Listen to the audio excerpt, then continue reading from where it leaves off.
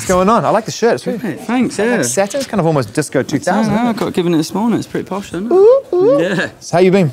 Good, mate. Yeah, like uh, just been. I w- had a holiday over Christmas, which was really nice, and then came back to the carnage of a Mumford and Sons arena tour and then in Yeah. America, and then come and done this, and it's Yeah. yeah. I'm kind of like. "Meh." We just caught up with the Mumfords before in remarkably good spirits as always because you know, they're never happier than when they tour. So how was the experience for you seeing it from, from your perspective on their tour? Yeah, it was cool. You know, like it's, it's such a spectacle. Their shows. I, I kind of um, wasn't really.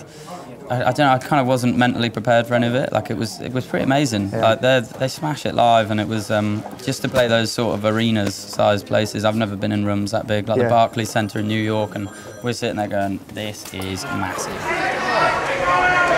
So this is the circus, you know, that's how I look at it. And it's, it's probably not a place that you're used to kind of being in. And, and you've only been here, you know, for the afternoon doing rehearsals and stuff. But Mm. y your overall impression of something on this scale?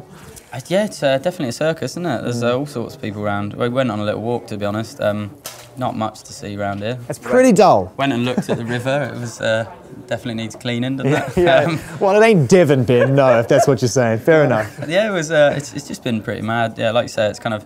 This has never really been my sort of cup of tea. It's never. Um, uh, it, it's exciting to be honest. Like, just to kind of be thrown in here and, uh, and see everyone at this scale and just see see what the crack is. You know, like so many people running around with cameras and um, TV and everything. All right, so this is Ben Howard up on stage. This is going to be his Please rehearsal. welcome the brilliant Ben Howard.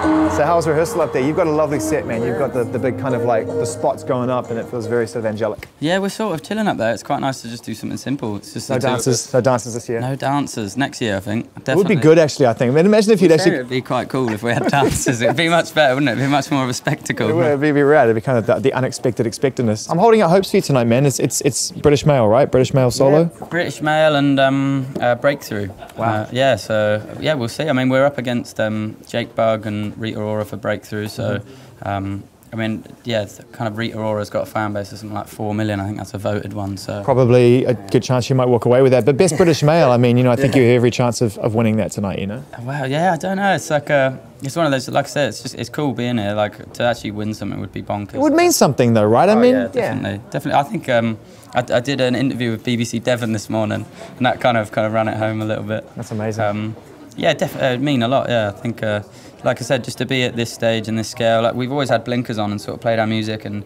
there's more and more people coming to the shows. Then when you actually sort of stop and look around at something like this, you're like, wow, actually, kind of connecting to a lot of people now, which is yeah, dream really.